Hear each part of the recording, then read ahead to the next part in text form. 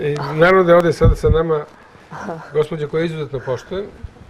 Cenim, pa moram reći, tu negdje i volim. Hvala. Pa što da ne? Vesna Naravno, Stanić. naravno, da. Pa za, za, zašto to kad to vodi tome To na kraju? treba, naravno, Pa to treba reći. Što ovaj, ljudi dobri, pošteni, To kad su rade uvijek dobro sve... pozitivne po- emocije. To je Pozitivne emocije su vrlo bitne. Vesna Stanović, još jednom, dakle, e, ka, naši razgovori nisu bili ni malo lagani, da ne kažem, nisu bili neprijatni, ali nisu bili laki i Tačno. očekujem da i danas će biti u to u sličnom duhu i ruhu. Da, E, pričat ćemo sad o nekim podacima. Hajmo da krenemo odmah, što kažu, u sridu. Nažalost, ove godine u porodičnom nasilju stradalo, ubijeno 11 žena do sada i jedno jeste dete. jedno dete.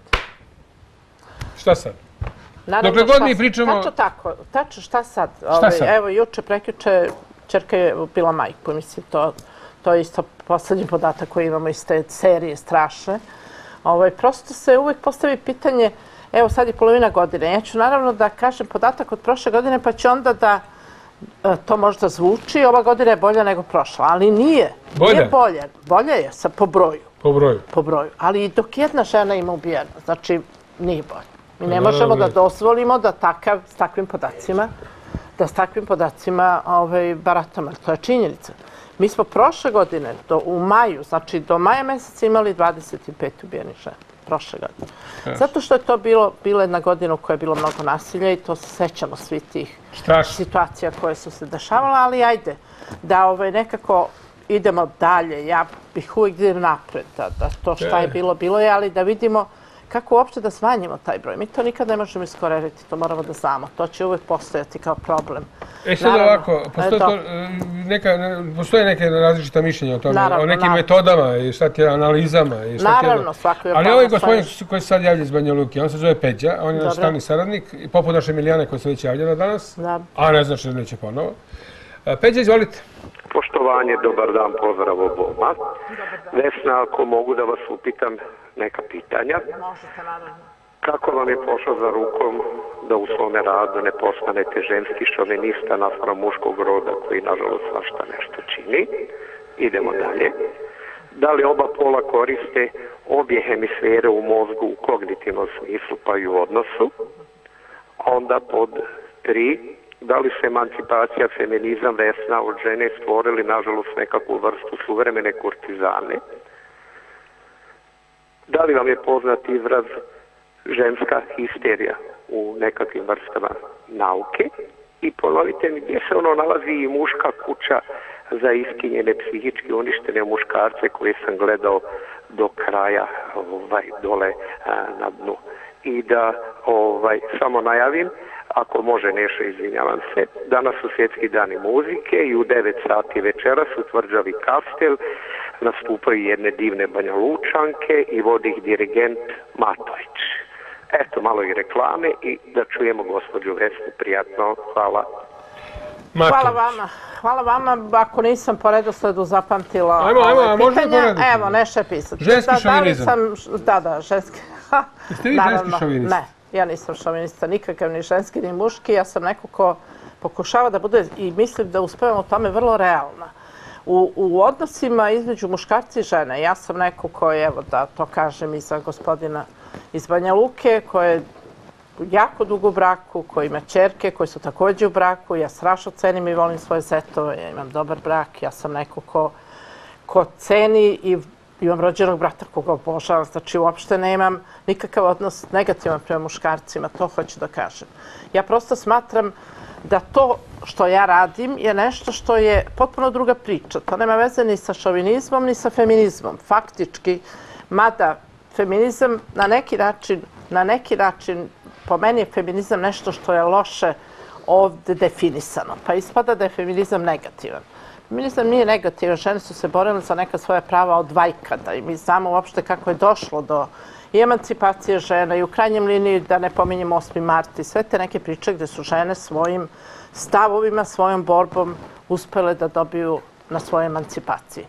Međutim, generalno smatram da uopšte u odnosima između muškarca i žene uvek mora da postoji tolerancija, mora da postoji razumevanje i mora da postoji razgovor. Ono što je jako važno. A da mi to, nažalost, u ovim situacijama i sa ovim ženama koje ja čujem, koje, sa kojima ja radim, sa kojima imam prilike da se sretnem i da to izostane. Prosto se tu, da kažem, sila nekako eh, stavlja u prvi plan. Znači, ako nešto nećeš, ti ćeš morati ako te ja nateram. Pa protiv sam toga da se neko tera, prosto smatram da svako mora da ima svoje mišljenje, svoj stav, svoju želju, svoje mogućnosti, a ne da ga neko na nešto prisiljava. I upravo to prisiljavanje dovodi do nasilja. Ako sam gospodin odgovorila na to, e, pitao me sigurna muška kuća, koliko ja znam, u. Paraćinu, jeste. Postoji. U Paraćinu. Koliko znam ja iz medija, Ja nisam znao. ovaj u Paraćinu. Tako da, i šta imaš pitanja na koje Ima još puno pitanja, ali ja bih sad stavio tu tačku i zapetu. Dobro, okej. Zbog čo- gospodina koji sad čeka, A, dobro. Peđa, nećete biti uskraćeni ni za jedno pitanje. Zapisuju se sve. A da čujemo vas, odakle vi zovete? Halo? Da, da, ali morate stišati televizor. Halo? Stišite televizor, molim vas. Halo? Čujemo halo, halo 18 puta. Jel možete stišati televizor? Ja ne, ne, televizor, evo odmah. A to, to. Halo? Nije 18 dva puta. Dva puta. Ajde. Izvolite, izvolite. Halo? Htjela Izvolite. sam da kažem sljedeće, zovem iz Beograda. Znate šta? O, Ja mislim da, da u, u našim životima postoji pomodarstvo, kao što su recimo određene strane, strane riječi. Tako i ovo sad, ova, ova kako bi rekla, moda, da, da su krivi, krive muškarci, a žene nisu ništa krive. Za svaki nesporazum potrebno je dvoje.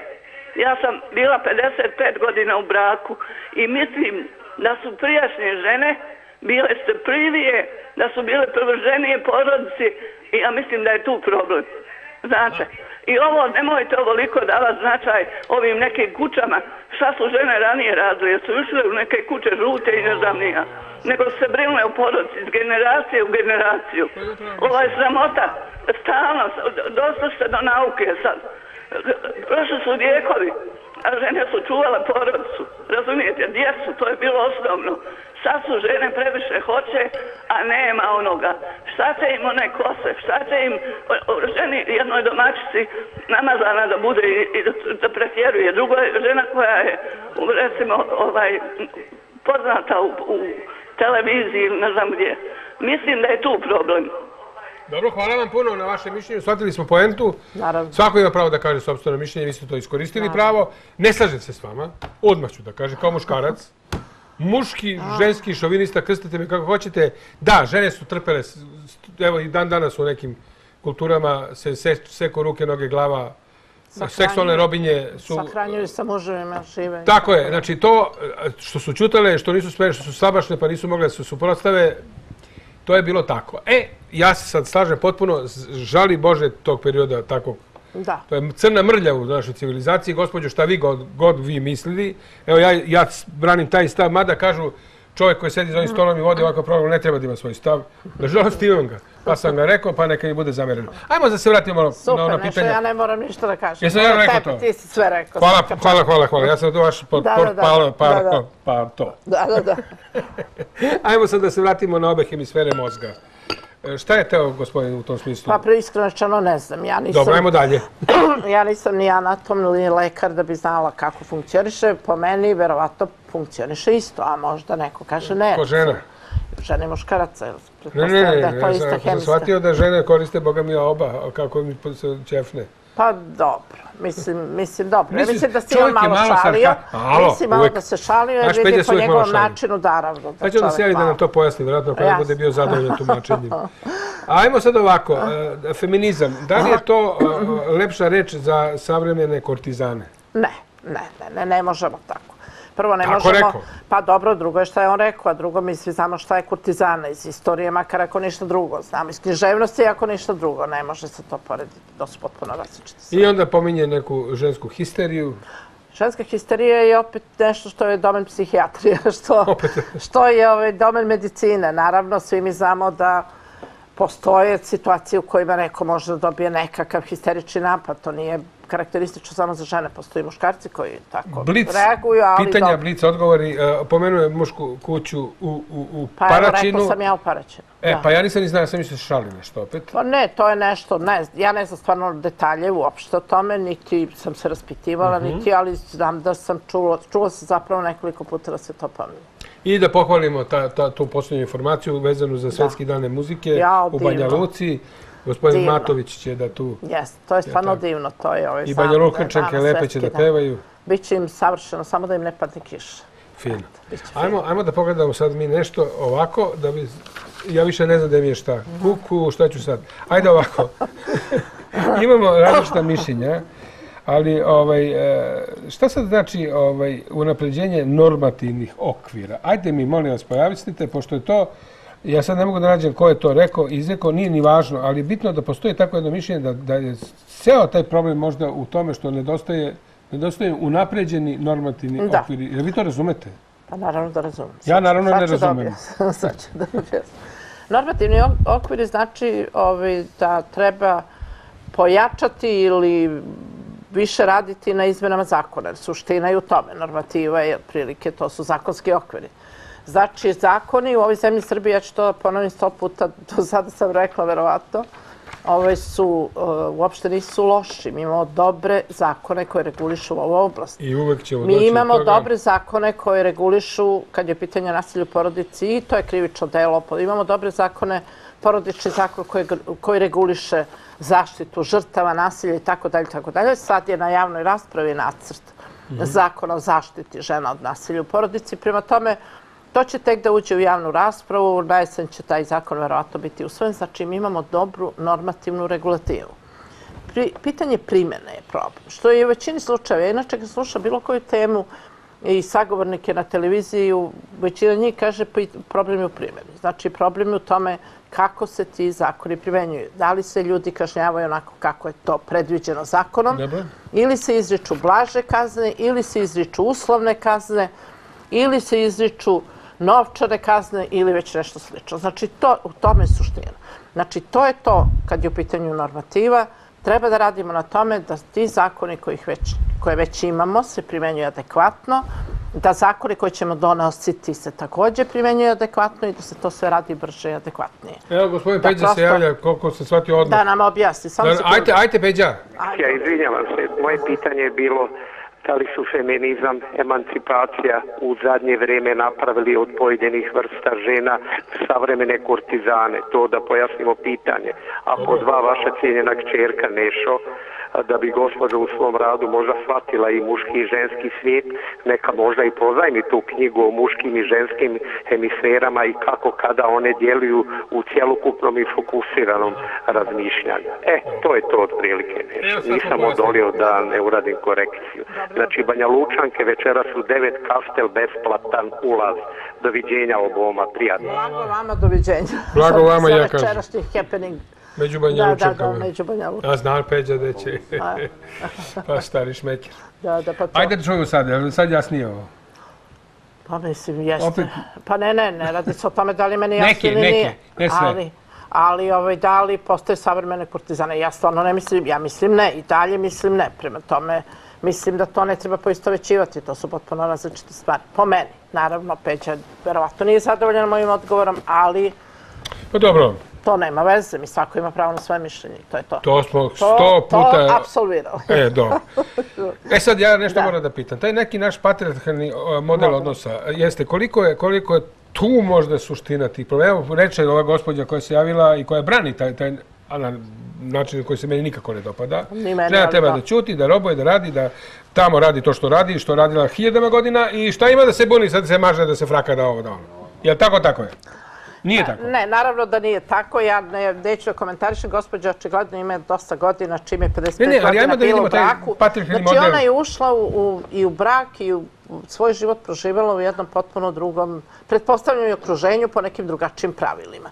To je upravo taj patriarhalni model u kome su žene udajom naučene da rađaju, da rade i da čuvaju tu decu. Pasivna uloga žene, kaže. To je to. Pa, Prema to je tome, to je nažalost tako. I šta sad, mi treba da to, taj model negujemo šta? I u buduće. Pa neće moći, prosto zato što dolaze nove generacije koje imaju potpuno drugačije stavove. Mi imamo mlade žene koje su emancipovane, obrazovane, koje jednostavno neće da svoj život provode sa šporetom, kuvajući ručak i ne znam već nešto slično. Nego hoće od sebe da naprave ličnost koja će možda da doprinese ovom društvu na neki mnogo bolji način. Pa- Tako da gospođa ima pravo na svoje mišljenje, potpuno razumem.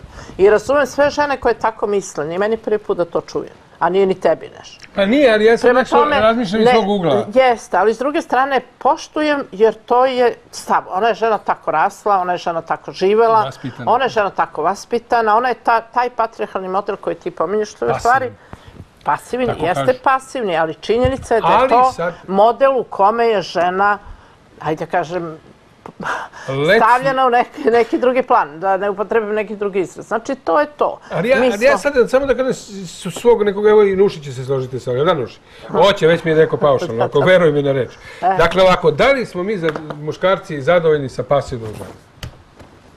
Pa verovatno. A što onda idu samo druge žene, koje nisu pasivne, nego one te aktivnije malo? Ne, ne, ne, ne, ajde sad malo ja možda banalizujem stvari. Ne banalizuješ, ali, ali, ima ali nešto drugo. Ima tu nečega. Jeste, ali uh, mnogo se promenilo. Ja naravno gledam i kroz uh, svoje čerke i kroz svoje zetove i kroz mlađe generacije s kojima se srećem stalno. Uh, potpuno je to drugačiji odnos. Nije to više onaj odnos da su muškarci sa ti koji će da lupe rukom o sto i da kažu ženi ti se skloni ili ti ne smeš da kažeš ili ti nemaš pravo da kažeš ništa ili ko tebe pita ili već ne znam šta. Postoje ljudi kojima imponuje da imaju obrazovanu, pametnu, emancipovanu ženu koja ima određeni položaj u društvu. I takvih, evo, kao što si i ti, ima mnogo. Ima stvarno mnogo. Ja se iskreno pa nadam da će biti sve više. To bi bilo, bi- Naravno, sve ostalo bi bilo tužno. lep svet. Jer ne možemo da sedimo na me, u mestu i da ne menjamo ništa. Mogu li da iznaš život. ovaj drastični podatak? Ma, naravno Koji mene da može. lecno, ja nisam znao, a, a, a, a, Naravno da možeš. Tu smo da... tebi je poznato to 100%. Da. Kaže, a, a, a, evropska medijska kampanja protiv nasilja u kojoj je bio naveden podatak, bila je ta pre par godina, dobro, da je porodično nasilje najčešći uzrok smrti žena na planeti, ne Da. u Srbiji, nego na planeti, Da, da. i da ih češće ubijaju muževi nego što ginu u saobraćajnim nesrećama. Tačno. Ajte sad. To je strašan Ste čuli ovo? Yes. Više žena pobiju muževi nego Da, što da, izginu u saobraćaju. porodičnom nasilju. I to je nevjerovatno. To je podatak koji isto ja. A Evo, to je, naravno, ali to je globalna, globalni problem. Jeste, to je ono što, o čemu mi govorimo. Nasilje u porodici nije problem Srbije niti Balkana, nego celog sveta. To je globalni problem. Znači, mi po tu nismo... I zato smo mi usvojili onu konvenciju Saveta Evrope koja govori o nasilju na ženama i nasilju u porodici, jer to nije naš problem, nego je to problem Ovo je konkretno Saveta Evrope, znači evropski, ali ista je priča i u drugim, na drugim kontinentima, odnosno u drugim zemljama sveta. U Znači da pričati- ženama se najviše čini nasilje. I ćemo- zato se i govori o nasilju na ženama. Ja uvijek hoću to da istaknem, prosto da se ne bi mnogi muškarci osetili uvređenim. Ja znam da ima problema i u brakovima kad su i muškarci trpe neke oblike nasilja koje sam imala prilike da vidim. Ali govori se o nasilju Reći. na ženama upravo, naravno, ređe i mnogo lakše. Ali ovaj, o nasilju na ženama se i govori zato što ga najviše ima. Zato što su žene uglavnom žrtve nasilja. A žena, to je dete A i to je... inače, naravno, tu, tu su i deca, tu su i stari, a dru, s druge strane jeste, koje mi inače slabo pominjamo, veliki problem postoji u jednu porodicama, jesmo. I onda je, ovaj, kažem, mi moramo da shvatimo da su to problemi o kojima mi moramo da razgovaramo. Jer ne, kako ćemo dalje, ako na to ne obratimo pažnju? Neko nam se javlja, Vesna. Važi. Halo, izvolite. Alo, Izvolite. halo, Čujemo se. ovdje baka, jedno 77 godina. I Izvolite. časno da pozdravim tu divnu damu, uvijek je gledam. A gospodin Nešo, vas posebno. Hvala. Da, joj, da kažem da je ta dama postajala, bila onda, ni mi rođena. Kad sam se ja rodila prvo dete, neke žive za imam i dva sina, odmah bi ga uzela iz bolnice i otišla ne znam nijakud. Ali je onda bilo tako da moraš da čutiš, da radiš i svekru i svekrvi, strini, tetki, da ne nabrajam. Ali sad su žene pametne devojke, školovne ili ne znam šta ili nešto drugačije i ja imam dva sina. Prvo što je sam im uvijek učila, ne smijete devojčice dirat, ne smijete žensko maltretirati. E, bravo. To je, ja imam dve snahe, jedna je samo sticajem okolnosti zbog stambenog pitanja. Kad ona, kad dođu s posla, ja se pućem u svoje odaje. Ja to tako govorim malo, s one strane Sandrinja, živim u Beogradu. i nikad ne bi rekla da moja snaha ne valja, on je nešto pogrešio. On sedi, puši i njoj kaže dodaj mi vode. Pa ko je to? Kako, kako, kako to? Ne dajte? I to je, nisu, nisu, dođe kući, ako ručak zagorio, žena je kriv, ako nema, žena je kriv. Kako god, ja, ja imam mnogo godina i mnogo radila sam u firmi, 30 nešto godina. Manje više nikad nisam čula da je, da je, da je muškarac kriv. Ne, ne znam, ali ima i njih ovi koji, da je, da je muškarac nije kriv, hoću da kao obrnuto. Ne žena, ako ručak zagori, pa ko, pa kuća Da izgori, neće pa da pusti. kuva on. Da hoće da skuva, Ja- pa da viš kako bi mu zagoreo ručak. Ja, pa sve što se dešava, a ne mora da znači da je uvijek žena kriva. Ako dete ne zna u školi, šta, kako si ga vaspitala? Pa nije da- on pao s neba taj mali ili ta mala, to oba dvoje. A on ne mogu ja da priči. to nije moj posao. Samo da vam za vašu utehu kažem da sam kuvao supu nekoliko puta, dva puta, od tri puta mi je zagorela supa. Supa mi je zagorela, pa zaboravio. Ne mogu da shvatim da može super da Može, zaboraviš na plotni, Bože, pa najgliđe izgori zagori ce- I supa. lonac izgori. Ceo kraj smrdina da je govorim Da svaka čast ženama, prvenstveno sada kad bi bila mlada, samo to ne može. Ja bi samo rodila s nekim finim gospodinom, ne gospodinom onim sa parama, nego učljivijem, koji po, po, poljubi ruku ženi, devojci, koji poštuje, koji ka, kako si dušo kada je sposago, da ne, da ne govorim one duže reči koje uputi. Ne, ne, ne. Ja mnoge ljude, tako, samo bi rodila jedno dete i gajila i živjela, živjela bez brige. A materijalno nije bitno. Uh, Uvijek je bilo, a ono što smo mi trpili, moja majka i moja baka, to je takav držala luča, vi ne znate šta je to. Dok muškarci piju i do pola noći i posle pola noći, ona mora da stoji da drži luč, pa nismo valjda u srednjem veku. Pola noći piju, pola noći biju. Ja sećam toga, ja imam 77 godina, sećam se kako su nekad živali. Ne daj Bože da se vrati to. Hvala vam puno, gospođo. Sve smo posvatili pojentu. Hvala vam na savjetima, hvala vam na, na, na svesti koje imate u ovoj priči, bez obzira I, i ja da imate- dodam svaka vam čast, stvarno. Svaka vam čast, stvarno. Jer A žena pitanje je potpuno, gospođa- u pitanju je starija, ali dobro, gospođa je u nekim dobrim ne. godinama, nije... Pa i ona gospođa Ali starija, ima potpuno druge jasno drugačiji, potpuno drugačiji odnos prema tome. Ali je mnogo važno kako je ona vaspitavala svoju decu, odnosno svoje sinove i kako se oni ponašaju u svojim porodicama. E, sad Jer ta, u toj, tim porodicama opet rastu deca i oni će da gledaju te modele. Mnogo je važno to što ste vi sad ispričali. Ne Kako samo za nas, važno je za sve one koji gledaju ovu emisiju. Jer suština je u tome da mi nasilje, ako ne sprečimo, mi imamo generacijsko nasilje. Znači ono što se od oca prenese na sina, od sina na svog sina, pa dalje. I to nikad nema kraja ako mi ne stanemo i ne kažemo čekaj dosta, stop nasilju, kako to već razni pamfleti pišu, ali nije suština u pamfletu, nego suština stvarno u životu. Tačno tako, ide vremenska prognoza, Jasno. a onda ćemo pričati u nastavku o tome koliko vam država, Pomaže. generalno država i sve te institucije naravno. pomažu u ovoj velikoj borbi za, za, za bitka Yes. protiv nasilja nad ženama, samim tim i decom i starima. Ide vreme, ide lasta, pa onda se vraćamo ovoj priči. Sponzor vremenske prognoze Saobraćeno preduzeće Lasta. U Srbiji danas promenljivo oblačno, toplo i veoma sparno. Tokom jutra pljuskovi sa grmljavinom očekuju se na severoistoku Srbije, a posle podne uglavnom na zapadu i jugozapadu, ali ređih uslova biće u ostalim predelima. Duvaće slab do umeren severoistočni vetar. Najviša temperatura od 26 do 32 stepena. Na jugoistoku Srbije biće uglavnom pretežno sunčano i tropski toplo. Najviša temperatura do 35 stepeni. Narednih dana pretežno sunčano i toplo. Samo se ponegde očekuje lokalni razvoj oblačnosti, a posle podne i veoma redka pojava kratkotrajnih pljuskova sa grmljavinom, uglavnom u zapadnim, jugozapadnim i u brdsko-planinskim predelima. Najviša temperatura kretaće se od 30 do 35 stepeni, a u četvrtak i petak ponegde i preko 35. U Beogradu danas promenljivo oblačno, toplo i sparno, a bit će uslovi za pljuskove sa grmljavinom. Najviša temperatura 28 stepeni. Povoljniji termički uslovi pogodovaće većini hroničnih bolesnika i osetljivih osoba. Izvestan opres savjetuje se srčanim bolesnicima kao i asmatičarima. Meteoropatske reakcije mogu biti izražene u vidu glavobolje i problema sa snom. Neophodna je adekvatna zaštita od uve zračenja. Dakle, lasta, izvolite. Dobar dan vama i vašim gledacima televizije TV Naša. Saobraćeno preduzeće Lasa danas saobraća po registrnom redu vožnje za radni dan utorak. U saobraćaj danas uključeno 498 autobusa. Planiramo da održimo 4763 polazaka u domaćem međunarodnom saobraćaju. Prema svim pristiglim informacijama naših dispičkih centara saobraćaj se do ovog uključenja odvio bez zastoja, kašnja i neodrženih polazaka. Od međunarodnih polazaka danas ispraćamo autobuse za Ljubljanu, Minhen, Frankfurt, Pariz, Beč, Cirih i Split. Na graničnim prelazima nema dužih zadržavanja, pa nam autobusi za međunarodnih linija pristižu po registrnom redu vožnje. Danas očekamo autobuse iz Ljubljane, Praga, Bratislave, Splita, Liona, Milana, Dortmuna, Pariza, Poreća i Rijeke. Napomenuo bih da je počela prodaja karata za crnogorsko primore, tako da karte kupljene do 36. za juli i avgust odobavamo popust od 20%.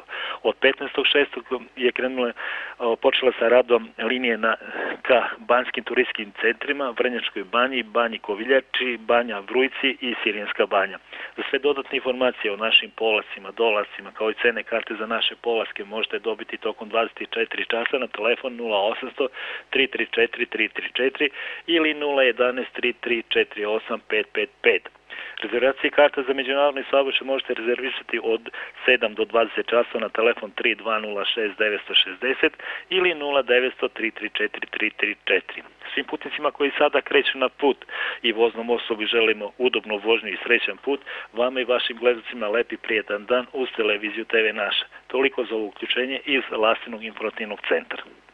Hvala vama puno na ovome. Ja ću sada kažem nešto što se tiče bezbednosti u vožnji, uvek kažem, pa ću sada iskoristiti priliku, vodite računa u saobraćaju. Dakle, vodite računa. Danas gledam svaka čast onim zlotvorima što ne pale, što ne pale svetla po ovom vremenu, kad je ova, ova, ova, ne znaš da li je dan, da li je noć, ne pale, dakle, svaki drugi. Molim, molim, molim policajce i saobraćane da, da koču da primenjuju taj zakon. Strašno. Pa naplaćujte te kazne. Kad sam ja platio, zato što sam držao u ruci mobilni telefon i platio sam kaznu, Pa dajte neka se zabrani, zabranjeni su mobilni.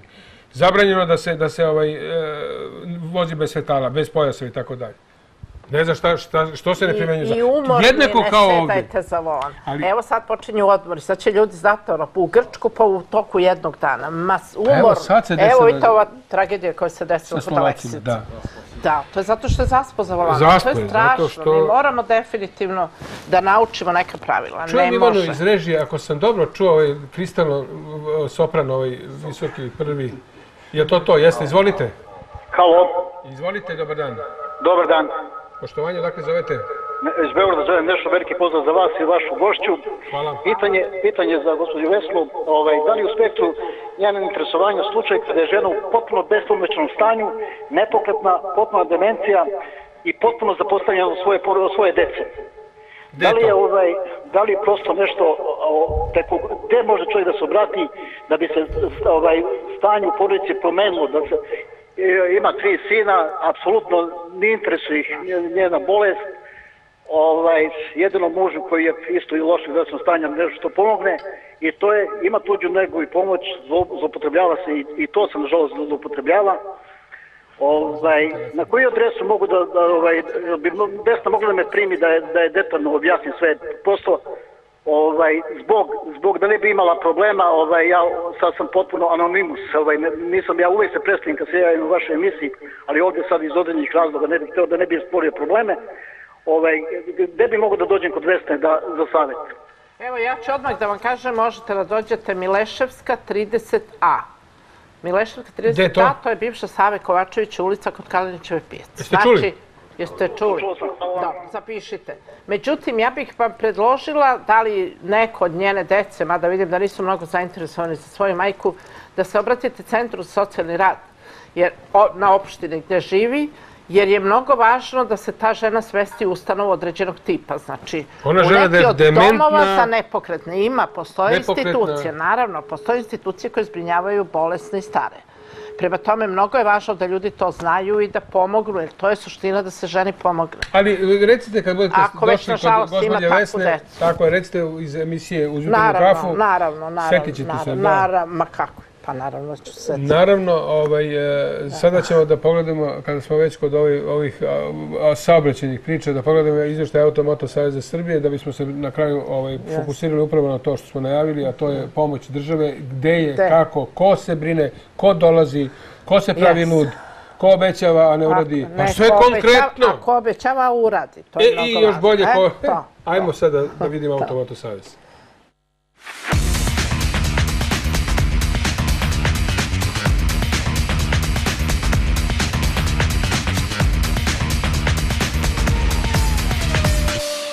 Pozdrav iz operativnog centra Automota Saveza Srbije. Vozače će tokom dana pratiti uglavnom povoljne vremenske prilike i suvi kolovozi. Samo su prema rečima meteorologa posle podne i uveče mogući kratkotrajni pljuskovi koji će u Banatu biti izraženiji. Nestabilne vremenske prilike koje nam tokom dana donose česte promene vremena, neizmenično sunce pa kišu, a povremeno i jake pljuskove praćene vetrom i gradom, utiču na otežano kretanje vozila zbog veće količine vode na kolovozu, a ujedno su i razlog većeg broja saobraćenih nezgoda. Zato po jakom pljusku ili nevremenu koje je praćeno gradom ili jakom kišom treba zaustaviti svoje vozilo na bezbednom proširenju, pored puta čim je to moguće. A dodatna opreznost vozačima će biti potrebna i na putevima koji prolaze kroz tenske useke i klisure zbog čestih odrona zemlje i kamena. A prema informacijama javnog preduzeća Putevi Srbije počeli su radovi na deonici Nova Varoš Prijepolje na popravci mosta preko reke Bistrice, pri čemu se saobraćaj odvija na izmeničnim propuštanjem vozila. Ima ih i na deonici Ražana Kosijerić, Požega Užice, kao i na putu Konjević i Beljina Čačak. U toku je redovno održavanje i rekonstrukcija puta Čačak-Kraljevo i to od ukrštanja sa državnim putem za Kragujevac na deonici između Mrčajevaca i Kraljeva, a u okolini Kraljeva izvode se i radovi na putu Drakčić i Kraljevo i Drakčić i Kaona. Počeli su radovi na čišćenju odrona na putu Ivanjica Ušće kod mesta Studenica, pri čemu se vozila neizmenično propuštaju a u istočnoj Srbiji danas će zbog sanacije kolovoza doći do obustave saobraćaja od 7 do 18 časova na putu Mokranje-Veljkovo, dok na istočnom kraku koridora 10 između Niša i Pirota, na delu između Čiflika i Staničenja, za danas nisu planirane obustave u saobraćaju. Na našim graničnim prijelazima, prema podacima koje smo dobili od Uprave granične policije, trenutno za putnička vozila zadržavanja nisu duža od 30 minuta a prema podacima Operativnog centra MUPA Republike Srbije tokom jučerašnjeg dana na putevima je evidentirano 114 saobraćenih nezgoda. 69 osoba je teže i lakše povređeno, a nažalost jedna osoba je smrtno stradala. Pre puta prekontrolišite ispravnost vozila, a ukoliko putujete u inostranstvo, na vreme pribavite sva važeća međunarodna dokumenta koja su vam potrebna za zemlju u koju putujete. A ukoliko vam zatreba pomoć na putu ili šlepovanje, kao i određene informacije iz oblasti saobraćaja, pozovite broj 1987 ili posetite naš sajt amss.org.rs.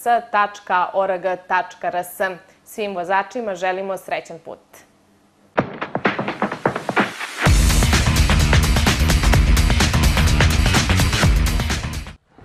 Sa nama Vesna Stanović, pričamo naravno o nas, naravno.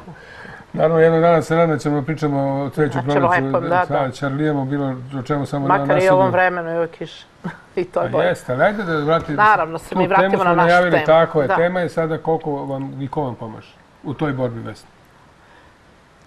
Pa sad, naravno, što sam zastala? Zastala sam, nama pomaže Što? grad Beograd. Znači, grad Beograd je neko ko finansira naše sigurne kuće. To je potpuno evidentno. Međutim, zastala sam zato što je u toku to takozvano licenciranje ustanova socijalne zaštite koji pomažu, odnosno pružaju usluge i tako dalje, što je nama napravilo jedan veliki problem pod jedan, a drugo jednu pauzu u radu, jer prosto to licenciranje po meni nije prilagođeno uslovima našim, nego je to licenciranje bilo predviđeno za domove za stare. I onda je naravno tu došlo do disproporcije, jer ono što se od nas traži mi niti imamo, niti nam je to potrebno. Ali vidjet ćemo. Nadam se da ćemo to završiti i nastaviti sa gradom, ovaj, odnosno potpisati sa gradom ugovor, što je najbolje rešenje, jer oni stvarno imaju razumevanje za nas i nikakvih problema do sada nije imalo. Ovo sad što sam ja pomenula nema veze sa njima. Tako To je. je, to je nešto što je propisalo Ministarstvo za rad i socijalna pitanja.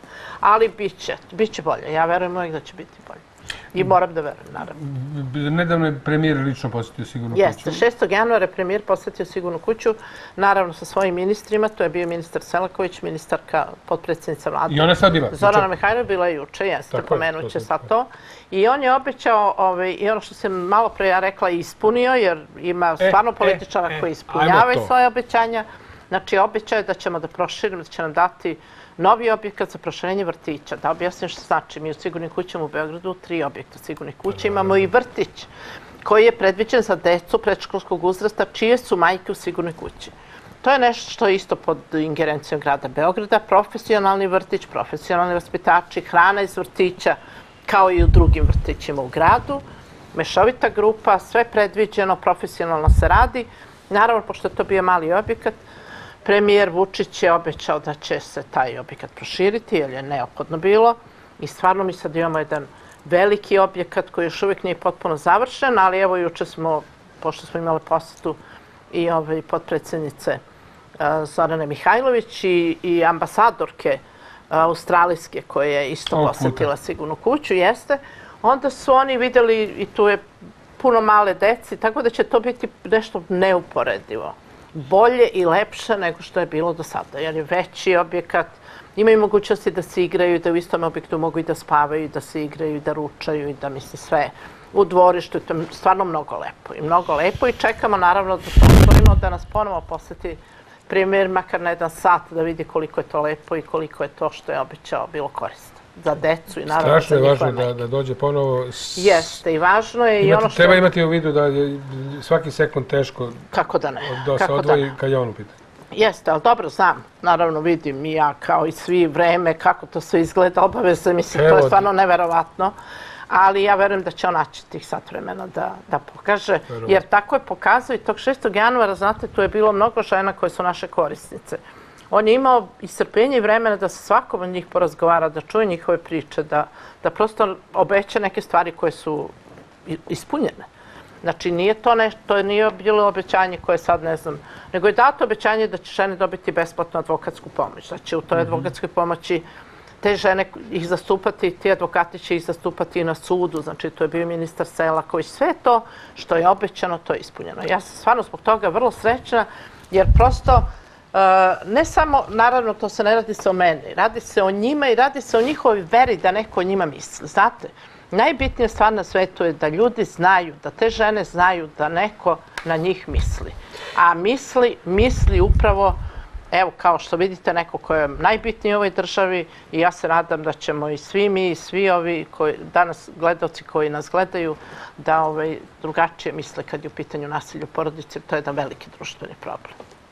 E, ajmo sad ovako, neko se javlja, ako možete Da. samo to što imate da kažete da što kraće spakujete, da, da imamo vremena da odgovorimo i još neke teme da ovde e, apsolviramo koje smo zacrtali. Izvolite. Ovo je izuzetno kratko. Da, prekinut. Šalim se, ja malo nemojte da mi uzmete za zlo.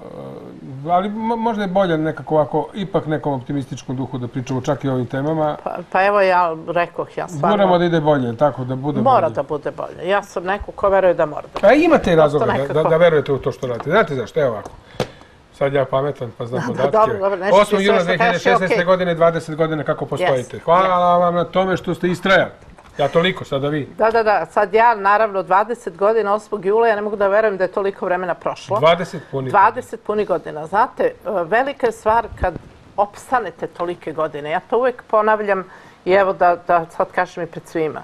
Onda kad sam ja počinjala da ovo radim, to je bila tema koja nikoga nije zanimala. Da Je bila zabranjena ne- tema možda? Nije bila zabranjena Ne, tema. nije to nikad bila zabranjena tema. To je bila tema, zato ono, tuče mu ženu. Pa dobro, otprilike to je njihov porodični problem. Pa oni će sada se tuko, sutra će se pomire. Pa će da Gdje da krenu znate da ulicom. ima to? Pa naravno da znam, ali To to, je, manj, ali to je manji broj. To moramo isto da znamo. Drugo, ne možemo mi zbog jednog takvog slučaja da sad sve generalizujemo, pa sve stavimo u isti koš. Ne može, prosto mora da, da se pomogne onome ko traži pomoć, ali ne možemo reći sad ti će se pomiriš. Ma ne pomire se.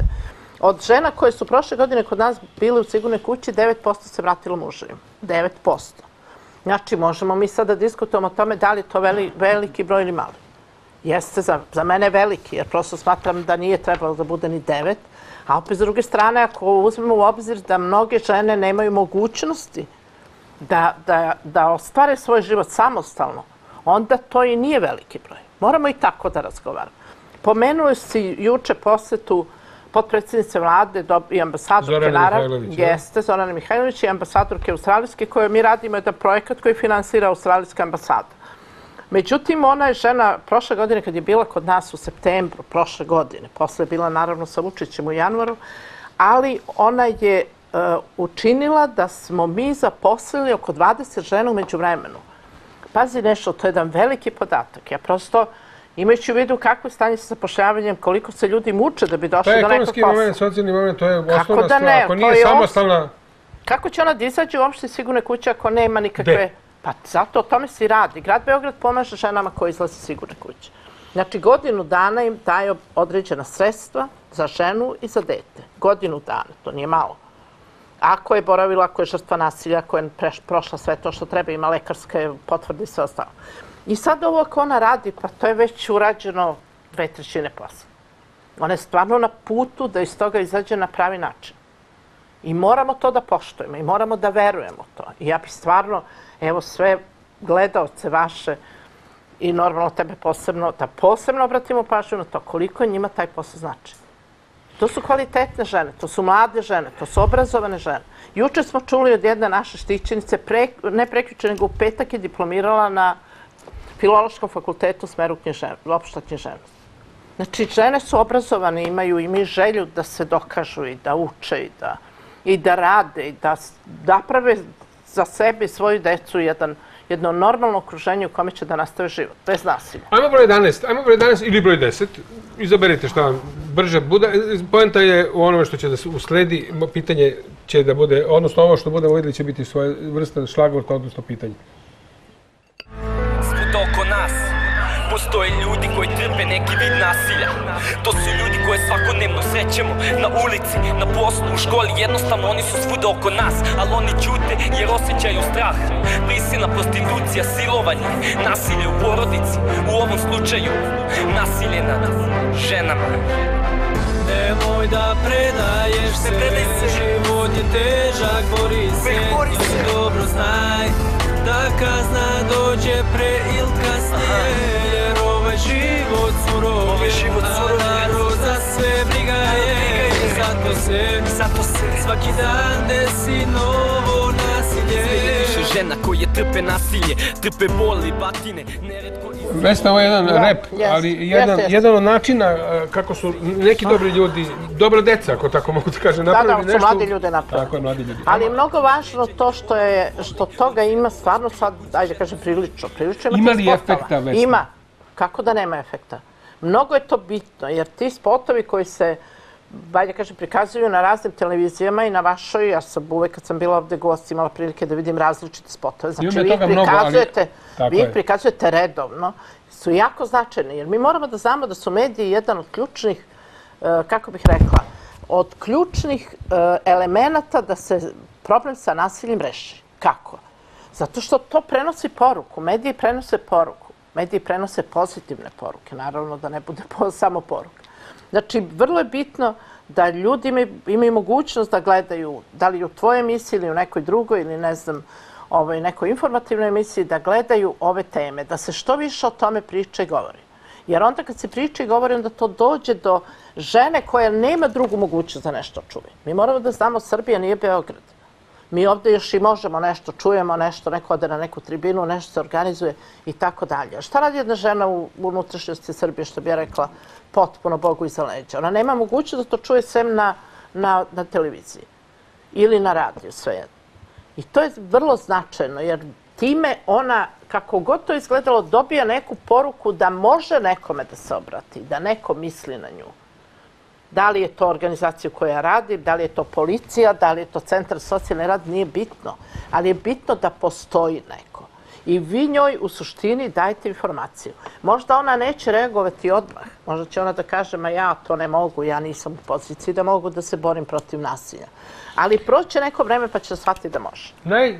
Najkritičniji trenutak. Jesi ti shvatio šta sam Ja rekla? sve, sve, ne, ali ja sad želim da, da, da shvatim još neke stvari. Dobro. Sve sam te shvatio.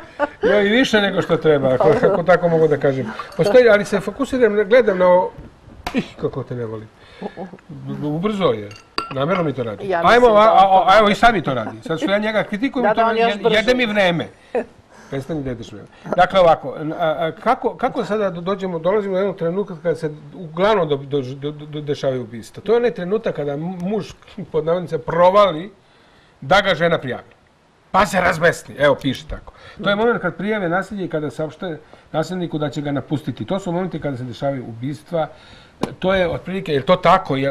Kako da taj To trenutak se jeste nekako... tako, ali naravno to ne treba tako generalizovati. Svaki taj slučaj je slučaj za sebe. Nije to baš uvek tako A da on neko ubija to? kad Ne. čuje. Pa ima, znate, ovaj, ono što je tu najvažnije, e, ubistva. Znači onda kad su ubistva u pitanju, to uglavnom čine ljudi koji imaju taj, tu patološku ljubomoru. Koja je jedan, jedna Mi jesmo vrsta- ovi, mi Srbi ovde, odnosno... Ali to je ta patološka, znači ne mogu da shvatim, mi smo imali mnogo ubistava uh, muževa koji ubiju svoje supruge godinama posle ra- razvoda. Ma i u poznim Što je, godinama. mislim, čak. potpuno nelogično. Ti si se razveo, na neki način si stvorio i počeo neki sobstveni život. I sad posle deset, sećate se onog slučaja, u- ja mislim, bilo u kliničkom centru, posle deset godina je došao, ubio ženu koja je sedela za šalterom i radila Da, svoj da, posao. da. Znači, ne može da shvati ili Može a, preboli, šta? Toliko, ne. Ja mislim da je to jedan neuspeh koji njega prati u raznim segmentima. Znate, da li je u pitanju posao, da li je u pitanju privatan život, da li je u pitanju da odnos prema deci, sve to. I onda negde neko mora za to da bude kriv. Mi smo svi skloni da krivimo drugog. Nikad nećeš, ajde da se svi setimo da li smo ikad celi i sami sa sobom razgovarali. Pa Pa, rekli, ček, čekaj, uradimo, pomislit gde je to ludi, mo- mislim. Ma šta nema veze to, nismo ludi, Misliš to ne sebi znači kao? ludi. Sami sebi, daj da vidimo gde sam ja Kažem, to pogrešio. tako će da misle ti. E, pa, ali Pa generalno, mnogo je bolje uraditi to nego ne učiniti neko krivično delo koje u krajnje može da te uništi. To je Ajde da apelujemo na, na, na tu toleranciju, ajde da apelujemo na, na, na, da se taj fitilj malo produži ponovo. Na, na toleranciji da na neki način ljudi rade na sebi. Ja kad kažem rade na sebi, skoro sam rekla da žene, nemoj da misliš da ja kad kažem radiš na sebi, treba mislim da treba da se šminkaš i obučeš. Ne to, nego da moraš da se preslišavaš gde si grešila. Pa znam, i ja sam se razbela. Gde si grešila? Grešimo svi. Nema bezgrešnog. Evo, kogod doće da bude korektan, on će da kaže, ba grešio sam nego šta sam. Godine provedene s nekim, pa ne može, nikad ne može da bude samo jedan kriv. Dajte malo da se tolerišemo, da razgovaramo, da u da. krajnjoj se dogovaramo, da shvatimo da samo time možemo da napravimo neki kompromis. I s druge strane, niko nema tapiju ni na čiji život. Ako neko hoće da se razvede, pa moraš da prihvatiš taj razvod. E, moraš da ga prihvatiš. Jer šta to znači? Pa ne možeš na silu da teraš nekog da živi s tobom. pa ne možeš. Ne možeš, pa onda se prilagodi, nije lako. Ja znam da je to lom i znam da je to teško, sve ja to znam. Ali s druge strane, Nije bila jednostavna tema kao što mi ovdje... Kao i obično. Kao, može tako da se kaže, mada smo u nekom, eto tako da kažem, za nijansu opuštenjem duhu pričali yes. o ovim žestoko važnim i, boga mi ni malo naivnim temama. da. I sada ako iz svega izvlačimo neku povuku, hajde jednu generalnu povuku. Jednu generalnu sve ili jednu gledaju. generalnu, da, poruku da se nasilje ne trpi. Da se nasilje ne trpi, da prosto žene koje evo gledaju i muškarci koje ovo gledaju, potpuno je to svejedno. Ima nasilje na jednoj i na drugoj strani. Ima različitih situacija na jednoj i drugoj strani. Naravno, mnogo više na ženama, to smo već rekli. Ali s druge strane, da svaka žena shvati da nije sve izgubljeno. I da time što će ona sada ovo odgleda, ona će možda da kaže, pa dobro, lako je vama da pričate. Vi Da. ste tu gde ste i imate drugačiju poziciju u životu. Prosto to tako ne treba. Moramo da verujemo u sebe, moramo da verujemo u druge koji hoće da pomogu. I svakoj ženi poruku, ja vas molim, nemojte trpeti. Jer to, ako krenete da trpite, to nema kraja. Ja bih kraja. da to sve bude tako, naravno, i da sigurne kuće budu deo jedne ne tako vesele istorije. Naravno, Ali naravno, da, da, ž- da u sigurnim kućima u- u tom nekom prvom periodu mogu stvarno da se zaštite, a dalje ćemo svi zajedno da vidimo kako će. Vesnice, hvala puno. Hvala mnogo, hvala. Vama hvala. Hvala na pozivu, nadam. Pa naravno uvek. I to ćemo da ustanovi, i već smo ustanovili kao tradiciju jednu i borit ćemo se zajedno. Mi ćemo, eto, dati sve svoje pogone u tom medijskom prostoru. Važe, hvala. Vama hvala što ste danas bili sa nama. Sutra se naravno ponovo družimo. Nove teme, novi ljudi. I vi tu, i mi tu. I uživajte.